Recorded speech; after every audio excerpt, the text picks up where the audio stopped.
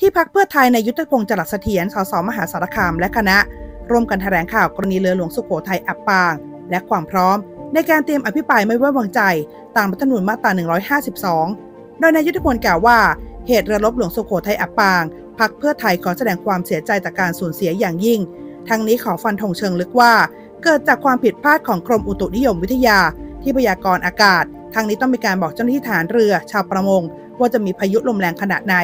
แต่ไม่มีการแจ้งเตือนไปยังเรือหลวง หากมีการแจ้งเตือน คงไม่มีการขับเรือออกไปบริเวณนั้น ซึ่งมีคลื่นลมแรงถึง 6 เมตร อธิบดีกรมอุตุนิยมวิทยาคนปัจจุบันที่ปฏิบัติหน้าที่อยู่ ไม่เคยทำงานด้านกรมอุตุนิยมวิทยา ไม่มีความรู้ และเป็นเสมียนเก่า ที่เคยทำงานให้กับรัฐมนตรีว่าการกระทรวงดิจิทัลทางนี้อธิบดีกรมอุตุนิยมวิทยาต้องรับผิดชอบกับเรื่องที่เกิดขึ้น ในการพยากรณ์อากาศที่ผิดพลาดทางนี้นั้นตนขอท้าให้ฟ้องได้เลย หากไม่เป็นความจริง ท้ายออกทีวีแข่งกับตน เรื่องของการพยากรณ์อากาศ หากหน่วยงานที่เกี่ยวข้องไม่สอบสวน จะยื่นให้ปปชตรวจสอบเรื่องนี้ จะต้องมีคนรับผิดชอบ ทหารจะต้องไม่ตายฟรี